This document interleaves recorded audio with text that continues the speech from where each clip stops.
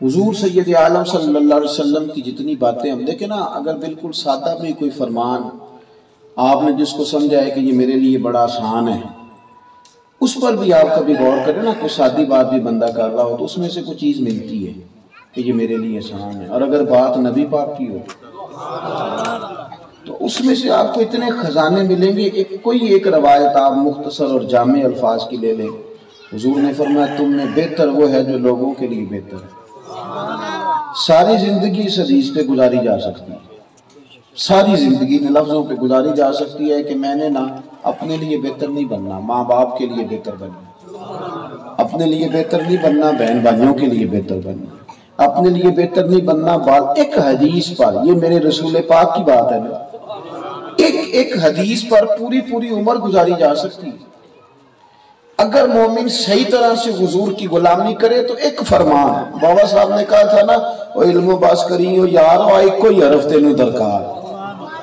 एक बात पर भी सारी ज़िंदगी गुजारी जा सकती है। नबी पाक ने फरमाया, तुम में से उतनी देर तक मोमिन नहीं हो सकता। जितनी देर तक अपने भाई के लिए भी वही पसंद ना करे, जो अपने लिए पसंद करता है। इस रवायत पर आप उम्र बिता सकते हैं सारी। आप चाहत कर लें कि ये चीज़ मुझे ज़्यादा पसंद है, लिहाजा भाई को देनी है। ये प्लाट मुझे ज़्यादा पसंद है, लिहाजा भाई को देना है। ये मुझे ज़्यादा पसंद है। हजूर ने फरमाया, ईमान की दलील है कि तू जो अपने लिए पसंद करे, वही अपने। तो मेरे करीम की एक एक बात पर ज़िंदगी गुजार सकते हो। शर्त यह है कि हुजूर का दीन सीखने के लिए और अमल करने के लिए। निरा इसलिए ना हो कि घंटा तकरीर सुनी है, बड़ा मज़ा आया, कानों को बड़ी लज्जत है ये मकसूद ना हो। वरना एक एक बात पे लोगों की उम्रें गुजर गई। एक एक बात, एक सियाबी आए।